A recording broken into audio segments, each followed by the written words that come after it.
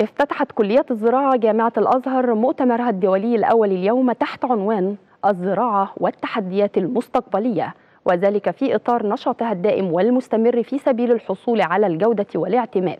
ومن جانبه قال الدكتور محمد عبد المجيد عميد الكلية أن المؤتمر يقام برعاية الإمام الأكبر الدكتور أحمد الطيب شيخ الأزهر والدكتور محمد المحرصاوي رئيس الجامعة على مدار ثلاثة أيام. الزراعة والتحديات المستقبلية.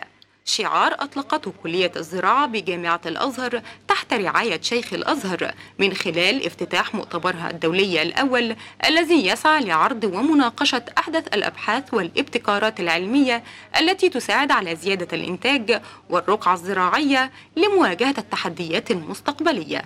وزارة الزراعة بتعمل من أجل يعني تحقيق الأمن الغذائي للمواطن المصري سواء في مشروعات إصلاح الأراضي مشروع الواحد ونص مليون فدان أو إنشاء المئة ألف صوبة. هناك قوافل توعوية على مستوى الجمهورية تجوب البلاد من المحافظات والقرى والنجوع لبيان أهمية الحفاظ على الموارد والحفاظ على الأراضي الزراعية والحفاظ على حتى الهواء من التلوث. كليات الزراعة في جامعة الأزهر هنا وفي أسيوط معنية كثيرا بمسائل البحث العلمي للوصول إلى أفضل المحاصيل إنتاجية وأقلها تكلفة. أهم أهداف المؤتمر هو تبادل الأفكار بين المشاركين من مختلف دول العالم.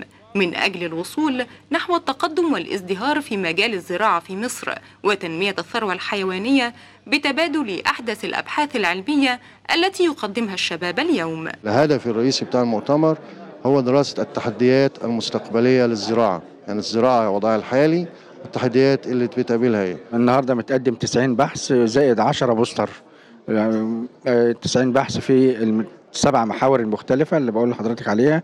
وعندنا أبحاث خارجية ومؤتمر دولي international في من العراق موجود وفي من اليمن موجود. التطور في الزراعة سواء كان في التكنولوجيا عشان رفع مستوى الإنتاجية في المحاصيل أو في التنوع بحيث إن إحنا نقدر نوفر محاصيل من المهمة بدلا من استيرادها موضوع حيوي جدا. ملف الزراعة في مصر من أهم الملفات التي يجب الاعتناء بها لكونها عنصر مؤسس للنهوض بمستقبل مصر وبدعم أبحاث وأفكار الشباب سوف نخلق دما جديدا لتحقيق الأمنيات.